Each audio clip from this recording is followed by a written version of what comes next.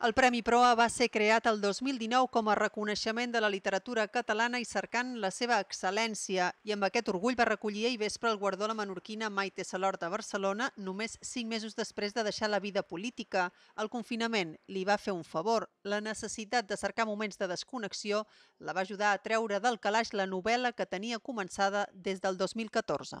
Eh, tenia un munt de llibres en francès, de bibliografia sobre la guerra d'Algèria, eh, que sabia que un dia m'hi havia de posar, però que no era fàcil, perquè, com dic, eren en francès, eren articles d'història bastant densos, i, evidentment, jo, dedicació política no tenia temps.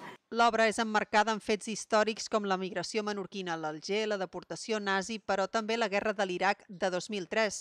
S'hi han presentat 23 obres més. Per jo ha estat la millor manera de, de, de retornar i de reenganxar-me eh, a tota la vida literària que durant aquests anys he deixat eh, he deixat eh, de banda. Després de sis anys a l'equip de govern del Consell de Menorca, Maite Salord ha tornat a la docència al seu institut de sempre, el Maria Àngels Cardona de Ciutadella, i com era habitual en ella o quan publicava una nova novel·la, ja en té una altra en marxa.